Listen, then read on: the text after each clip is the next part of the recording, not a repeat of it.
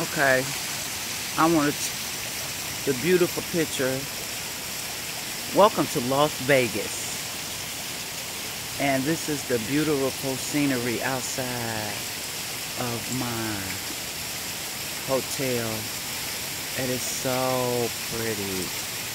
I'm up at 7 o'clock in the morning, and of course, I was the last one to go to bed, the first one up.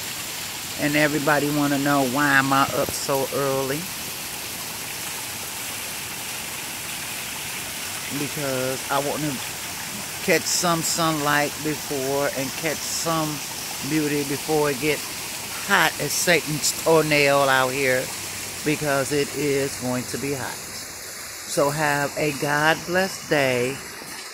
Bye.